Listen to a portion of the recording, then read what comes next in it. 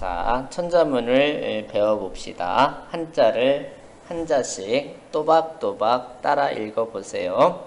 하늘천, 하늘천, 땅지, 땅지, 거물현, 거물현, 누루황, 누를황, 집우, 집우, 집주, 집주, 넓을 홍, 넓을 홍, 거칠황. 거칠황, 자, 이번에는 한자씩 이 물고 물고 꼭 징검다리를 건너가듯이 이렇게 한번 읽어봅시다.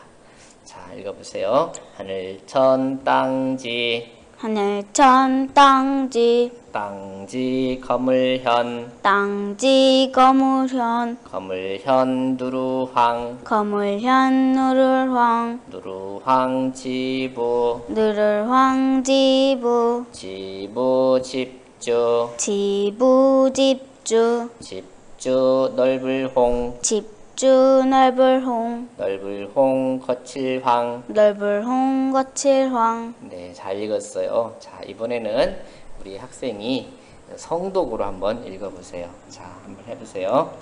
저언지 현황하고 우우주 홍황이라 음, 잘 읽었어요. 그럼 이번에는 선생님이 한번 성독을 한번 읽어볼게요. 잘 들어보세요. 전지현황하고 우주홍황이라